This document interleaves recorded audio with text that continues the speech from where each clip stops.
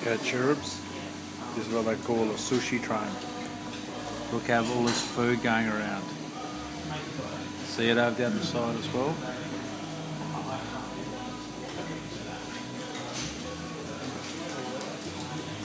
Pretty cool, eh?